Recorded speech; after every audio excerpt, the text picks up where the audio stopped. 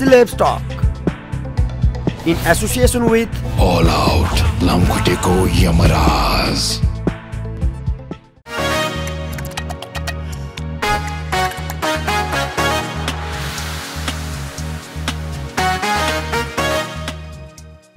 आदरणीय दर्शक महानुभाव नमस्कार। हिमालय टेलिभिजनको स्लेप स्टक सोमा हार्दिक स्वागत गर्छु। म गोपी कृष्ण र आज हाम्रो स्टुडियोमा तपाईँले निकै नै रुचाउनु भएको एकजना गायकलाई लिएर आइपुगेको छु। विशेष गरी उहाँको गीत सङ्गीतमा यति धेरै लगाव छ। ल हामीलाई लाग्छ कि उहाँको त्यो गायकी देख्दा उहाँको त्यो भनौँ न त्यो लगाव देख्दाखेरि यो कसरी सकेको होला भन्ने हुन्छ। कतिपय दर्शकले हामीले भन्नुहुन्छ। उहाँको गाउने स्टाइल साँच्चै नै एकदमै फरक छ। हामीलाई सुनौँ सुनौँ लाग्छ। अझ हेरौँ हेरौँ पनि लाग्छ उहाँको भिडियोमा पनि उस उत्तिकै मजा आउँछ हेर्न भन्नुहुन्छ। नेपाली विशेष गरी गजल गायनमा उहाँले आफूलाई यसरी स्थापित गर्नुभएको छ। गजल गायक कोही छ भनेर कसैलाई सोधिहाल्यो भने पहिलो नम्बरमा उहाँकै नाम आउँछ होला। उहाँ अहिले देश विदेश डिमान्डेड गायक हुनुहुन्छ। देशभित्रका मेला महोत्सवदेखि देश बाहिरका विभिन्न देशमा उहाँ उहाँको यदि मैले मेरो जानकारी अनुसार उहाँ झन्डै पचास देशमा आफ्नो साङ्गीतिक यात्राका लागि पुगिसक्नु भएको छ। ढिलो नगरको स्वागत गरौँ थानेश्वर गौतम। यहाँलाई हार्दिक स्वागत छ। हजुर नमस्ते गोपीजी। मैले पचासभन्दा बढी पचासको वरिपरि भने सही भने कि हजुर हजुर पचासको वरिपरि हुन त यदि क कतिपय दर्शकले केही वर्ष भयो होला तपाईँलाई चिनेको किनभने पछिल्ला केही हिट गीतमा कुनै कुनैले यो गीतबाट चिनेको हो भन्नुहुन्छ त्यो फरक बाटो हो। यद्यपि तपाईँको वर्षौँ वर्ष यो गीत सङ्गीतमा साधना गरिरहनु भएको छ। सर यो पचास देश घुम्दै घुमेको अथवा बढी देश घुम्न थालेको कति वर्ष भएछ यो पछिल्लो? मैले व्यस्तबाट जान खोजेको व्यस्त तपाईँको व्यस्त मेरो बिर्सिएर श्रृङ्गारमा गाजर लगाइन छेउ है तेरिका हतारमा गाजर लगाइन छु यो गजलदेखि हुन त मैले त्यो नाकमा फुली एमेरै ठुली भन्ने सालै जो निकै चर्चामा थियो मैले पहिले गाएको बाटो बन्द भयो। त्यसले पनि मैले केही स्टेज प्रोग्रामहरू मलाई व्यस्त बनाएको थियो। तर बिर्सिएर श्रृङ्गारमा पछि मेरो मेरो जापानको यात्रा सुरु भयो साङ्गीतिक यात्रा। मलाई धेरैजनाले निकै खोज्नुभयो। त्यसपछि मेरो एउटा रफ्तार भनौँ न सङ्गीतको रफ्तार अगाडि बढ्यो। ओके। तपाईँका गजलहरू एकपछि अर्को यस्तो हिट भइरहेका छन् अहिलेको समयमा पनि होइन? अनि सुनौ सुनौ लाग्ने मैले पनि भने केही दर्शकको हामीले प्रतिक्रियाहरू पनि बुझिरहन्छौँ कि बेला बेलामा। हजुर। उहाँको गाउने स्टाइल पनि एकदमै फरक छ। एकदमै गाह्रो गरेर गाउनुहुन्छ कि के हो? तर सुन्दाखेरि आनन्द आउँछ। उहाँलाई आफूलाई पर्सनली गाह्रो हुन्छ कि भन्नुहुन्छ? मैले यहाँबाट जान्छु। सर तपाईँले के साँच्चै नै गाह्रो भएर गाउने हो कि? तपाईँको स्टाइल कस्तो हो? होइन। देख्दा त्यस्तो लाग्ने हो। साँच्चीकै अन्तर हृदयदेखि गाउने तपाईँले जहाँ पनि संसारभरका गायकहरू हेर्नुहोस् उहाँहरूको मुख बिग्रेको हुन्छ हावभाव बिग्रेको हुन्छ हात खुट्टा चलाउनु पर्ने हुन्छ। किनभने जति भित्रबाट ऊर्जा हामी निकाल्छौँ त्यति हाम्रो घाँटीलाई भनौँ न दबाब पर्छ नि त। दबाब पर्छ हृदयदेखि गएको हुन्छ। त्यसले गर्दा मुख बाङ्गिने बिग्रिने हावभाव बिग्रिने स्वाभाविक हो। किनभने त्यो मलाई मलाई लाग्छ आवाज सुन्नुपर्छ। आवाजमा त्यो चिज ले ल्याउनुपर्छ। हाउभाउले केही फरक पर्दैन मलाई त एकदमै सजिलो लाग्छ। तपाईँलाई भिडियोमा देखेपछि त्यस्तो लाग्यो होला मान्छेलाई। तपाईँको गाउने स्टाइल देखेर। सुन्ने हो मात्रै भने पनि आनन्द आउँछ। आनन्द आउँछ। कतिले भन्नुहुन्छ तपाईँलाई? प्रत्यक्ष भेट्दा भेट्दाखेरि कति गाह्रो गरेर गएको भनेर भन्नु त्यस्तो भन्नुभएको छैन। तपाईँलाई सजिलो हुन्छ कि कोही एक दुईजनाले भन्नुभएको छ मलाई। तपाईँले के अप्ठ्यारो भयो र भन्नुभएको छ? होइन। त्यस्तो लागेको हो। तर प्रत्येक गाएको हेर्ने हो भने त्यस्तै अप्ठ्यारो भयो जस्तो महसुस हुन्छ। प्रत्येकको हेर्ने हो भने। ओके। सर आजको दिनसम्म मैले भने है केही नयाँ दर्शकका लागि पनि आज तपाईँका केही कुरा नयाँ कुरा खोलौँ होइन? मैले भने तपाईँको गाज गजल गाजलका कुराबाट अलिक बढी दर्शकले चिन्नुभयो होइन? पछिल्लो समय त एकपछि अर्को हिट हुँदै छ तपाईँ पचासभन्दा बढी देशमा पुगेर आइसक्नु भएको छ। जसमा लाग्छ फेरि दुई चार दिनमा अर्को देश जाने सेड्युल पक्कै पनि छ तपाईँको। हजुर। केही समय अघि मात्र तपाईँ युरोप झन्डै तिन महिनाभन्दा बढी बसेर आइसक्नु भएको छ होइन? यो दर्शकको मायाले गर्दा तपाईँ यहाँ पुग्नुहुन्छ एकदमै एकदमै। यो कसरी लिनुहुन्छ? तपाईँ त वर्षौँ अगाडि सङ्घर्ष गरेको व्यक्ति पहिला पहिला पनि गीत निस्केकै थिए होइन? हार्मोनियममा त दिनकै बसेकै मान्छे हो भनेको त्यो साधना सधैँ गरेको। एक्कासी हिट भयो जस्तो लाग्छ कि त्यो के चिजले लक लाग्दो रहेछ अथवा तपाईँलाई अहिले के लागिरहेको छ? पछिल्लो दुई चार वर्ष तिन चार वर्ष यता तपाईँ अलिक बढी नै हजुर। हाई पाउनु भएको छ। एकदमै। मलाई त्यस्तो लाग्दैन। म एक्कासी भएँ। एक्कासी प्राप्त भएको सफलताले छिटो नै त्यसको गन्ध पिटुकिन्छ। म लामो समय भनौँ न मेरो अध्ययन पनि सङ्गीतमै अध्ययन गर्ने मौका मिल्यो मलाई। मेरो मास्टर डिग्री मेरो अम्, स्नातकोत्तर मैले सङ्गीतमै गर्ने अवसर मलाई प्राप्त भयो। र सँगै सँगै मेरो गायनको यात्रा पनि अगाडि बढ्यो।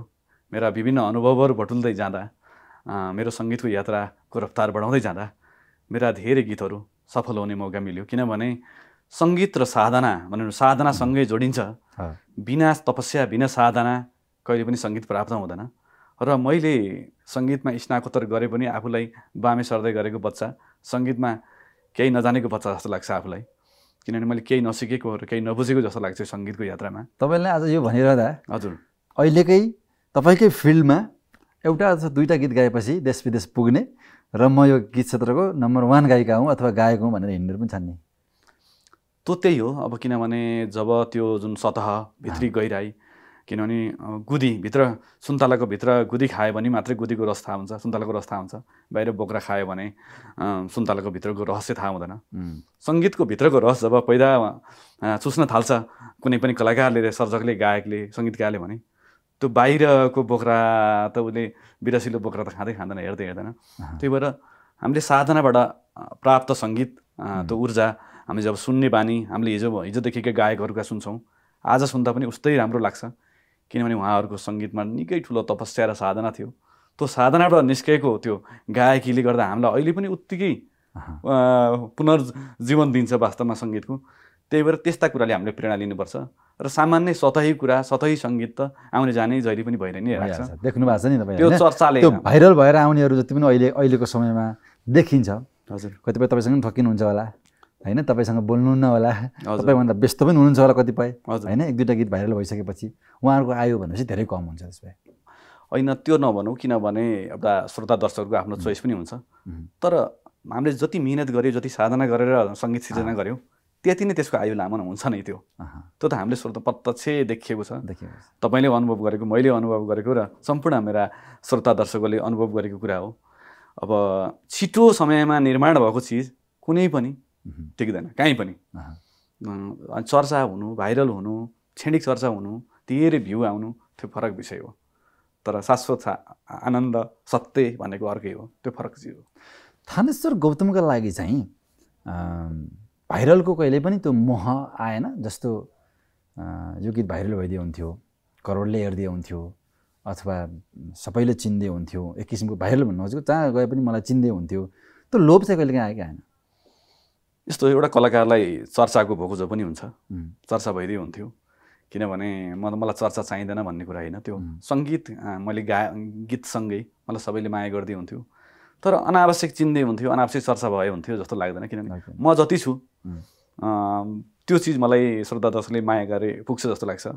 मलाई आज मेरो संसारभर लाख लाखौँ करोडौँ मेरो आफ्ना नितान्त मलाई माया गर्ने श्रोता दर्शकहरू हुन्छ। मलाई लाग्छ उहाँहरूले मलाई बुझिसकेपछि हाम्रो गीत सुन्नु सुन्नु सुन्नु भइसकेपछि सबैले त्यो माया गर्न छोड्नुहुन्न। नचिनेकोलाई त चिनाउँदै जाने हो। फेरि अर्को अर्को कसैले चिनाउँदै दिँदै जाने हो। मलाई लाग्छ त्यसले अर्को यात्रा थप्छ र अर्को मिठास थप्छ। ओके। तपाईँ त यतिखेर सङ्गीत सिकाउनु पनि हुन्छ। हजुर। होइन? एउटा एउटा गुरु पनि हुनुहुन्छ। सिक्न आउनेहरू तपाईँलाई देखेपछि तपाईँलाई भेटेपछि के भन्छन् के सिक्न बढी चाहन्छन्? कतिपय हत्त जाम्न अगाडि भन्ने हुन्छ होला कतिपयलाई। मैले भनेको है एकदम। छिटो सिक्न पाए हुन्थ्यो छिटो गीत निकाल्न पाए हुन्थ्यो केही सूत्र खोज्छन् होला तपाईँसँग होइन? त्यस्तालाई के भन्नुहुन्छ तपाईँ? धेरैको चाहना हुन्छ जस्तै तिन महिनामा फरर इङ्ग्लिस बोलिन्छ भने जस्तै। भन्नु जस्तै। तिन महिनामा म एक महिनामा गायक बन्न सक्छु कि सक्दिनँ? सोध्छन् सोध्छन्। म दुई महिना भन्छु कि भन्दैन? मैले कति लाग्छ सङ्गीत सिक्न? हतार छ है उनीहरूलाई। हतार छ। किनभने त्यो त त्यसको गन्तव्य नै छैन। छैन। दस वर्ष सिकेर पनि यसको कुनै सीमा छैन। तिन महिनामा त हामीले के सिक्ने? सामान्य सरगम पनि हामीलाई सिक्ने गाह्रो हुन्छ। सरगमको नलेज पनि थाहा नै हुँदैन कि कसरी गाउने भन्ने। र सहाय गर्ने समय लाग्छ। भनेपछि अब यसको यात्रा त तिन महिनामा त सम्भवै छैन। तपाईँ अहिले पनि भन्दै हुनुहुन्थ्यो म पनि आफै सिक्दैछु। मास्टर डिग्री गरेर पनि तपाईँ सङ्गीतमा मास्टर डिग्री गरिसक्नु भएको छ वर्षौँ वर्ष दिनुभएको छ तर पनि अझै तपाईँ एकदम। आफूले सिक सिकिरहेको। भन्नुहुन्छ। म त आफूलाई त यति कमजोर लाग्छ। म त सिक्न जानेकै छैन। मैले त केही जानेकै छैन सङ्गीतमा जस्तो लाग्छ। त्यो सङ्गीत भनेर बुझेदेखिको आजको दिनमा कति कति वर्ष पुगेछ तपाईँको? सङ्गीत भन्ने कुरा म साँच्चीकै सुरमा गाउनुपर्छ। साँच्चीकै।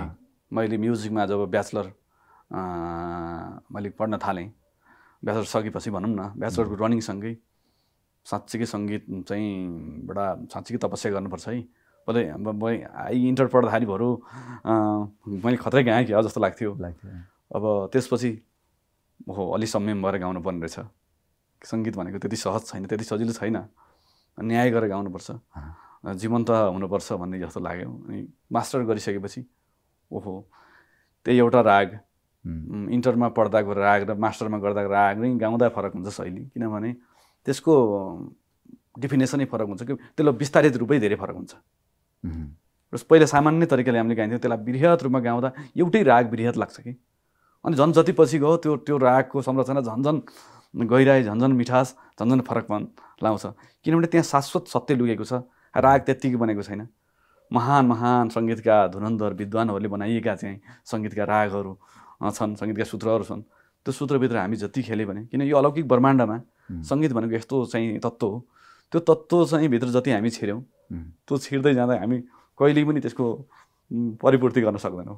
पूर्ण हुनै सक्दैनौँ भने तपाईँले गहिराइमा बुझ्न थालेको तपाईँ जब ब्याचलरमा सङ्गीत पढ्दै हुनुहुन्थ्यो ओ यस्तो पो रहेछ त। हजुर। मैले धेरै सिक्नुपर्ने छ भने चाहिँ त्यहाँबाट बुझ्नु एकदम एकदम। ओके। सर अब यो हामीले तपाईँलाई यद्यपि स्टुडियोमा बस्दाखेरि सबै कुराहरू बाजादेखि सबै कुराहरू त हुँदैनन् होइन? तर पनि थोरै एक दुई लाइन त कुनै पनि एउटा गीतहरू सुन्न सक्छौँ किनकि एकपछि अर्को तपाईँको हिट गीत छन् होइन? अनि त्यसपछि फेरि कुराकानी त्यही विषय त्यही गीतको विषयमा कुराकानी गरौँला। मैले एउटा अहिले परदेशी फिल्ममा पनि रहेको। यसको अब चर्चा पनि निकै भएको। निकै निकै लामो समयदेखि भनौँ दुई वर्षदेखि यता यो गीत निस्केदेखि। धेरै प्रेमी जोडीहरूको। प्रेमी जोडीहरूको एकदमै रोजाइको। रोजाइको। उम्, छुट्नलाई पो रहेछ क्यारे सानो। अँ, छुट्नलाई पो रहेछ क्यारे सानो। तिम्रो मेरो यति धेरै माया बसेको। सम्झी सम्झी रुनु रहेछ र सानो। खुसीले कुनै पल आँसु खसेको। प्रभाव पर्तलाको शब्द। ओके मेरो आवाज र सङ्गीत। छुट्नलाई पो रहेछ क्यारे? हे सानो तिम्रो मेरो यति धेरै माया बसेको। छुट्नलाई पो रहेछ क्यारे? हे सानो तिम्रो मेरो यति धेरै माया बसेको सम्झी सम्झी रुनु रहेछ र पो सानो खुसीले कुनै पल आँसु खसेको कुनै पल आँसु खसेको छुट्नलाई पो रहेछ क्यारे? हे सानो तिम्रो मेरो यति धेरै माया बसेको। यो गीत ठ्याक्कै डेट सम्झिनुहुन्छ। कुन समयमा गाउनु भएको थियो? स्टुडियो कति बजी छिर्नु भएको थियो? र रिलिज हुँदाखेरिको समय के थियो? अपेक्षा के थियो तपाईँको? एउटा गीत गाइयो ठिकै छ एउटा सङ्ख्या बढाइयो भन्ने थियो कि लोकप्रिय हुन्छ भन्ने लागेको थियो तपाईँलाई? यो सिर्जना यो हाम्रो प्रभाव वर्तोलाको शब्द उहाँले यो यो गीत चाहिँ खास लामो छ। यो भनौँ न आधुनिक टाइपको यो अलि लामो टाइप टाइपको चाहिँ अलि शब्द हो यो। यसलाई मैले लोक संरचनाबाट सोचेँ। र यसलाई शास्त्रीय आलापसहितको यो आलाप पनि निकै चर्चामा छ। यो प्रगात भनौँ न एक प्रकारले मैले नेपाली सङ्गीतमा लोक सङ्गीतमा एउटा फरक परेको पनि हो। शास्त्रीय आलापसहित मैले लोकगीत गाएको छु यसमा। पछाडिको लोक भाग हो लोक भाग हो छुट्नलाई पो रहेछ क्यारे। शब्द दिने बित्तिकै मलाई एक खालको फिल आयो भनौँ न यो छुट्नलाई पो रहेछ क्यारे। यो यथार्थ जुन भनौँ न यो धेरै मान्छेको यो पीडाको गीत हो। जुन मैले आमालाई सम्झेँ मैले। आमासँगको त्यो बिछोड मैले आमाको लागि धेरै गीत गाएको छु।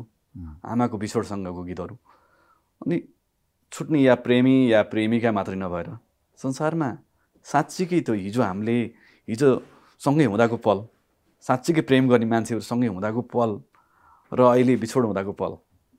कस्तो हुन्छ त? छुट्नलाई पो रहेछ क्यारो सानो। तिम्रो मेरो यति धेरै माया बसेको हो। सम्झी सम्झी रुनु रहेछ र पो सानो। खुसीले कुनै पल आँसु खसेको। त्यो पलमा त यस्तो आँसु खस्या थियो खुसीको। तर त्यो पल आज छैन नि। जो कोहीलाई लागि मिलेछ फेरि। सबैको लागि हेर्नुहोस् एयरपोर्टमा देखि लिएर यो त अब हजुरको भयो भने हाम्रा नेताजीहरू पनि छुट्दा पनि त्यही यही गीत टिकटकमा प्रयोग भयो। अहिले टिकटक बन्द भयो। किनभने त्यत्तिकै मन नछोइकन त सबैजनाले हाल्नु भएको छैन। विदेश जाँदा होस् या। त्यो छुट्नलाई त गीतलाई तपाईँले अहिलेसम्म स्टेजको कुराकानी जब स्टेज चढेर कतिवटा स्टेजमा गाउनुभयो होला? मैले छुट्नलाई गीत गाउँदा एकदमै सबैजनाले गाएको रेकर्ड छ। मैले धेरै मेला महोत्सवहरूमा। अस्ति भर्खर युरोपको माल्टामा पनि मैले गाएँ। सबै हाम्रा सङ्गीत प्रेमीहरूले सबैले गाउनु भएको थियो छुट्नलाई रहेछ क्यारे भनेर सबैजनाले गाउनु भएको थियो। त्यो माहौल चाहिँ कुनै पनि स्टेजमा छुट्दैन यो गीत। लगभग छुट्दैन। किनभने डिमान्ड नै हुन्छ। छुट्नलाई गाइदिनु मन मैले अरू गीतबाट स्टार्ट गरेँ भने पनि छुट्नलाई गीत गाउनु न। एकदमै मनपर्छ भन्नुहुन्छ। किनभने त्यो चाहिँ डिमान्ड हो। तपाईँको हकमा चाहिँ जस्तो अरू चलेका गायकहरूको कुराकानी गर्ने हो भने युट्युबमा राखेर अथवा अडियो प्लेटफर्मबाट लाखौँ लाख हामीले निकाल्यौँ अथवा निकालेको भन्ने बुझिन्छ कि? तपाईँको हकमा स्टेजबाट बढी कमायो कि अडियो प्लेटफर्मबाट अथवा युट्युबबाट? स्टेजबाटै बढी आउँछ। स्टेजबाट बढी आउँछ। अडियोबाट पनि के अरे स्टेज के अरे युट्युबबाटै नै आएको छ हुन त। त्यो अलिक कम मात्रामा आउँछ। आउन आउँछ। अब किनभने झुट बोल्नु हुँदैन। किनभने मान्छेहरूले यति कम- थोरै कमायो भने धेरै भन्ने हुनसक्छ। स्टेजमा पनि मैले यति गरेँ यति ल्याएँ भनेर चाहिँ अरूलाई समाजमा झुट बोल्नु हुँदैन कहिले पनि। जस्तो तपाईँको हकमा अहिलेको अवस्थालाई हेर्दाखेरि थानेश्वर गौतम जतिको व्यक्ति अँ, विदेशिनु पर्छ कि पर्दैन अबको समयमा? तपाईँ जतिको गीत सङ्गीतमा लाग्नुभएका अरूको लागि इक्जाम्पल दिएर भनौँ होइन? अवस्था त छैन नि अहिले। म आफूलाई भन्दाखेरि म जस्तो व्यक्ति विदेशिनु पर्दैन। तर कतिपय बाध्यात्मक परिस्थिति हुनसक्छ। किन परिस्थिति हुनसक्छ भने म त विदेश गएर बस्न चाहेको भए त म कति देशमा पुगिसकेँ। म बस्थेँ होला। तर माया लाग्छ यही देशको। यति माया लाग्छ नि यो यो ढुङ्गा माटो यो हाम्रो फुल राम्रो फुल्दै हुन्थ्यो जस्तो लाग्छ। यो बाटो भनौँ न काठमाडौँको बाटो राम्रो भइदियो हुन्थ्यो जस्तो लाग्छ। हुम्ला जुम्ला बागलुङ भनौँ न यो पोखरा पाल्पा स्याङ्जा हाम्रो झापा राम्रो भइदियो हुन्थ्यो जस्तो लाग्छ। आहा त्यहाँ बाटो विकास भइदियो। हाम्रो देशको बाटोमा हिँड्दाखेरि यो धुलो नउड्दै हुन्थ्यो सुन्दर भइदियो हुन्थ्यो जस्तो लाग्छ। अनि डाँडा पाखा हेर्दाखेरि यति राम्रो लाग्छ। यस्तो देश छोडेर कहाँ जानु मन लाग्छ? प्रत्येक हाम्रो नेपालीपन हाम्रोपन यति मिठो छ हाम्रो नेपालीहरूको। यत्रो त्यत्रो चार दा छत्तिस वर्ण यो भएको एउटा साझा फुलबारी छ एउटा देश। विभिन्न कल्चर छ विभिन्न जात जाति एकअर्कामा यति आत्मीयता छ। एकले अर्कालाई सहयोग गरेको देख्दा यति आत्मीयता जाग्छ। त्यो भएर तपाईँलाई साँच्चै कि यो देश त मन लाग्दैन। मलाई म- त एक दुई महिना गएर म कसरी बस्ने जस्तो लाग्छ। तर मैले भन्न सक्दिनँ ग्यारेन्टी लिँदिनँ। म पनि कहिले गएर बस्छु बस्दैन भन्ने कुरा ग्यारेन्टी लिन सक्दिनँ। भविष्य के हुन्छ? कसैलाई पनि थाहा हुँदैन। तर मेरो चाहिँ यो देशमै बस्ने योजना छ। म देशलाई नै केही गर्छु भन्ने छ। देशको माया धेरै लाग्छ। ओके। थानेश्वर सर अब एउटा गीत त सुनिहाल्यो होइन? फेरि एउटा गीत सुनौ कि जस्तो लाग्यो तपाईँको? हुन त हरेक गीतहरू हिँड्छन् होइन? सबै गीत सुन्न पाइँदैन भ्याइँदैन। हजुर। कुनै एउटा कुनै एउटा सुन्छ अहिले? बेचेर सपना मैले ए रात किनेको छु। बेचेर सपना मैले ए रात किनेको छु। होस लिलामा राखी होस लिलामा राखी मात किनेको छु। बेचेर सपना मैले रात किनेको छु। होस लिलामा राखी होस लिलामा राखी मात किनेको छु। बेचेर सपना मैले रात किनेको छु। ओके बेचेर सपना मैले रात किनेको छु। यो सङ्गीत भन्ने चिज यस्तो रहेछ सर। हामीले कतिपय सुन्छौँ तपाईँका यो सङ्गीत सुनेर म बिरामी थिएँ म निको भएँ भन्ने पनि धेरै गर्छौँ। एउटा मेडिटेसन पनि रहेछ होइन यो सङ्गीत?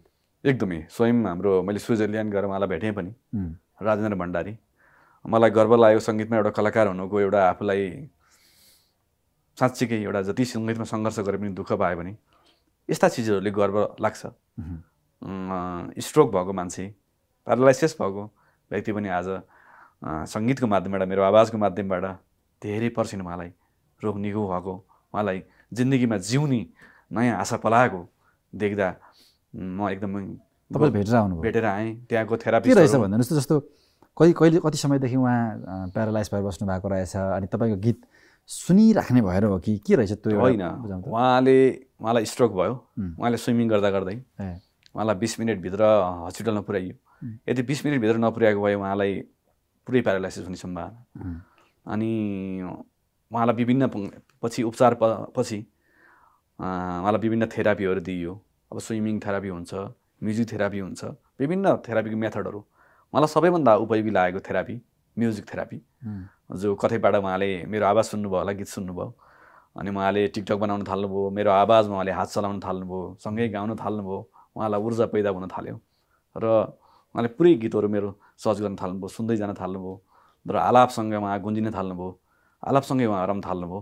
अनि उहाँलाई चाहिँ ऊर्जा पैदा हुन थाल्यो उहाँको आज भनौँ नाइन्टी पर्सेन्ट लगभग ठिक भयो भन्नुभयो। अनि जाँदाखेरि उहाँ यति खुसी देखिनुभयो म उहाँ यहाँ चाहिँ स्विजरल्यान्ड पुग्दा जेनेवा पुग्दा। अनि त्यो उहाँका डक्टर थेरापिस्टहरू पनि आउनुभयो मलाई भेट्न। म हस्पिटलमा पनि पुगेँ। हस्पिटलमा हाम्रा केही गीतहरू चाहिँ थेरापीको रूपमा प्रयोग पनि हुँदो रहेछ। अनि मलाई गर्व लाग्यो कि थानेश्वर गौतमले केही गरेको रहेछ होला। मेरो आवाजमा केही चिज छ होला र मेरो सङ्गीतमा केही चिज छ होला जस्तो महसुस भयो। र मैले थ्याङ्क्स भगवान्लाई पनि धन्यवाद दिन चाहेँ। स्विजर स्विजर- स्विजरल्यान्डमा रहनुभएका नेपाली नेपाली हुनुहुन्छ उहाँ। त्योभन्दा पहिला मेरो हाम्रो चिन्जान थिएन। उहाँले मलाई टिकटकमा मेसेज गर्नुभयो। है थान्सोजी म तपाईँसँग कुरा गर्न चाहन्छु भनेर। त्यसपछि हामी पहिलोचोटि भेट भयो त्यहाँ पुगेर। अनि त्यो यति मलाई गर्व महसुस भयो कि मेरो आवाजले उहाँलाई एउटा नयाँ ऊर्जा पैदा थियो। होइन मलाई मेसेजले कसैको जीवन पनि बचाएको छ सङ्गीतले। बचाएको छ। अनि धेरैजनाले एउटा उदाहरण मात्रै हो। धेरै छन् होला त्यस्ता छन्। उदाहरणहरू अनि कतिजनाले डिप्रेसनमा गएको मेरो म डिप्रेसनमा जान लागेको म ठिक भएँ भन्नुहुन्छ। अनि कति के भन्नुहुन्छ होइन? मलाई मेसेज गर्नुहुन्छ। म तपाईँको जीव गीतले म जिउन सकेको छु आज। मलाई जहाँ नयाँ बाँच्ने आधार पुगेको छ भन्नुहुन्छ। कमेन्टमा पनि त्यहाँ हेर्न मिल्छ कतिपय। यसले गर्दा एउटा सङ्गीतको एउटा आफू विद्यार्थी र एउटा सङ्गीत सिक्दै गरेको एउटा सङ्गीतको पुजारी भएको हुँदा मलाई गर्व लाग्छ। ओके। त्यो त एउटा तपाईँले प्रत्यक्ष भेटेर आउनुभयो होइन? म तपाईँको कारणले आज यो अवस्थामा छु। एकदम। निको भएको छ बाँचिरहेको छु भन्ने देख्दा। तपाईँले नदेखेका होइन? तपाईँका सङ्गीत सुन्ने धेरै हुनुहुन्छ होला। एकदम। हामीलाई हेरिरहनु भएको हुनसक्छ एकदमै, होइन? उहाँहरूलाई लागिरहेको होला मनमा ओके? म पनि डिप्रेसनबाट यो निको भएको हुँ। अथवा मैले पनि यस्तो खालको कदम चाल्न खोजेको थिएँ। आज उहाँको सङ्गीतले यस्तो भयो। अथवा समग्र सङ्गीतको कुराकानी गर्ने हो भने। अर्कै सङ्गीतमा जादु छ। एकदमै। अब धेरै समय त हामीसँग छैन होइन? तपाईँसँग धेरै कुराहरू गर्नु चाहना चाहिँ थियो। अर्को बसेर हामी पक्का पनि कुराकानी। गर्छौँ। मैले अहिले पनि एकचोटि भनेको थिएँ होइन? गीत सङ्गीतको माहौल पछिल्लो केही वर्ष यता एकदमै चेन्ज भएको छ क्या। भिडियो म पनि भन्यो होइन? अडियो बनाइसकेपछि भिडियो बनाउनु पर्ने त्यो पनि भिडियो बिकाउ बनाउनु पर्ने। भिडियोमा लाखौँ करोडौँले करोडौँ मिलियन करोडौँ हेरिसकेपछि बल्ल सक्सेस भयो भन्ने चलन छ। तपाईँले यो कुराहरूलाई कतिको मध्यनजर गर्नुहुन्छ कतिको मान्नुहुन्छ होइन? गीत मिलियन पुग्नै पर्छ अथवा करोड पुग्नुपर्छ सक्सेस हुनको लागि अथवा सफल भयो मेरो गीत अथवा चल्यो भन्नको लागि। अनि त्यतातिर तपाईँको ध्यान जान्छ जान्न सबैभन्दा। बढी ध्यान केमा जान्छ तपाईँ तपाईँले बहुत सत्य कुरा गर्नुभयो। जहाँ हामीले देखापट्टि कुरा गर्छौँ नि मैले अघि नै भने नि। हामीले घरमा जति छ घरभित्र मिठो मसिनो हाम्रो घरमा पाकेको मिठो चिज आमाले पकाएर दिएको र आमाले थोरै ढिँडो पकाएको आटो पकाएको रोटी पकाएर दिएको त्यो चिजले हामीलाई थोरै खाए पनि एकदमै ऊर्जा पैदा गर्छ कि। हामीलाई थोरै खाए पनि। तर हामीले बाहिर देखाउ देखा देखाउनलाई बाहिर होटलमा ऋण खोजेर होइन? अनावश्यक हामीले किने कुराहरू किनेर खान थाल्यौँ भने हामीलाई छिटो ऋण लाग्छ र छिटो रोग पनि लाग्छ र हामी छिटो डिप्रेसनमा किन जान्छौँ भने हामीलाई ऋण लाग्छ नि त। ऋण तिर्न हामीलाई गाह्रो हुन्छ। अनि हाम्रो सङ्गीत सङ्गीत त सुन्ने विषय हो। अत्यन्तै महसुस गर्ने विषय हो। अन्तर्मनले महसुस गर्ने विषयलाई हो अहिले भिडियोको जमाना आयो हेर्ने जमानै जमाना आयो युट्युबको जमाना आयो। त्यो सम्म पनि ठिक छ। तर हामीले अनावश्यक चाहिँ खर्च अनि देखाएर हामीलाई भ्यू देखाउनलाई कुनै मलाई लाग्छ भ्यू कुनै पनि भ्यूले सफलताको मापन गर्दैन। संसारमा महान महान गायकहरूको पनि भ्यू त्यसरी गएको हुँदैन कम गएको हुन्छ। हामीले हेरौँ। जीवन्त ओजस्वी गायकहरूको। कुनै गीतहरू तपाईँको भाइ भाइरल भन्ने शब्द आयो नि त्यो गीतहरू करोडौँ करोडौँ भ्यू पनि गएको हुन्छ। त्यो भ्यू जानु र एउटा जीवन्त सङ्गीत बन्नु फरक विषय हो। तर फेरि भ्यू जाँदैमा सङ्गीत नचलेको भन्ने पनि होइन फेरि। अनि भ्यू पनि जानुपर्छ। चर्चा भएसँगै भ्यू पनि जान्छ। कसैको? तर सफलताको मापन भन्ने कुरा ओन्ली मात्रै भ्यू होइन। कतिको मनमा बसिएको छ भन्ने थाहा हुँदैन नि होइन? करोड भ्युज पुग्यो भनेर सफलता भन्नुभन्दा भने अरू करोडौँ करोडको मनमा त बसेको भ्यू हुनसक्छ त विभिन्न तरिकाले गएको हुनसक्छ। त्यहाँ विभिन्न माध्यमहरू हुनसक्छ। तर साँच्चीकै हामीले कति कम सुनेका गीतहरू कम भ्यू गएका गीतहरू पनि हामीलाई सबैले सुनेका र सबै मन मनमा बसेका गीतहरू छन्। त्यहाँ भ्यूको कुनै मापन छैन। त्यही हो। अहिले हामी किनभने हामी छोटिँदै छोटिँदै गएपछि हामी के हुन्छ भने सामान्य विषयमा हामी रमाउन थाल्यौँ कि। सानो कुरामा। या भ्यूको कुरामा हामी होइन? भनौँ न एउटा टिक एउटा सानो प्लेटफर्ममा हामी चाहिँ चर्चा हुँदैमा हामी भयङ्कर भयो भनेर सानो कुराले हामीलाई आनन्द दिन थाल्यो। त्यसले गर्दा हामीलाई छिटो कुरा। अहिले टिकटक बन्द आउँदा कति आत्य छ हामी? तनाव भइसक्यो। मलाई के अरे टिकटक चाहिने जस्तो भयो नि त। अब फेसबुक बन्द होला हुँदाखेरि के होला फेरि हालत? हामी त एकदमै तनाव हुन्छ नि केही समय त। यो सम्पूर्ण प्लेटफर्मै बन्द भयो भने केही फरक पर्दैन कि? तर के हुन्छ भने हामी आफूमा आफ्नो अन्तर्मनलाई हेर्नुपर्छ कि। अन्तर्मनलाई सिक्न जा- चिन्न जान्नुपर्छ। अन्तर्मनलाई जब बुझ्न थालियो अन्तर्मनदेखि सिक्न थालियो साधना गर्न थालिन्छ हामी। अनि तपाईँसँग म प्रत्यक्ष भेटेर कुराकानी गर्दाको मजा र फोनमा कुराकानी गर्दा मजा फरक छ नि। फरक छ। तपाईँ भेट्दाखेरि तपाईँले मलाई बुझ्ने मौका होइन तपाईँ र मेरो आत्मीयता साटासाट गर्ने तरिका एकदमै थाहा हुन्छ। पहिला चिठी पठाउँदाको महत्त्व कति थियो? चिठी एउटा पढेर खोल्दाको प्रेमको महत्त्व र अहिले फेसबुकमा लेख्दाको होइन? टिकटकबाट मेसेज गर्दाको मह कति फरक छ? फरक पक्का पनि छ। तपाईँहरू गीत सङ्गीतको कुराकानी गर्ने हो भने ती सिडी डिभिडीमा आएका ती क्यासेटमा आएका ती रि- रिलवाला क्यासेटमा सुन्दाखेरिका होइन? बिस तिस रुपियाँ हालेर पाँच दस रुपियाँ हालेर ल्या सिडी ल्याएर क्यासेटमा हालेर बजाउँदाखेरि मजा त बेग्लै एकदम। पक्कै पनि ती गीत सङ्गीतका कुराकानीहरू तपाईँसँग फेरि अर्को बसाइमा कुराकानी गर्न नै छौँ। आजको लागि सेलेफ टक्सलाई समय दिनुभयो। धेरै धेरै धन्यवाद दिन्छ। एकदमै हजुरलाई पनि अनि यो हाम्रो हिमालयन टेलिभिजन अत्यन्तै लोकप्रिय प्रोग्राम स्लेप्स टक सो अँ, मा आउने अवसर मिल्यो र सम्पूर्ण मेरा प्रियजनहरूसँग भेट्ने अमूल्य अवसर प्राप्त भयो। यसको लागि आभारी छु। हस् अर्को बसाइमा फेरि पनि यस्तै गीत सङ्गीतको कुराकानी गरौँला। आजको लागि छुट्टिन्छौँ नमस्कार।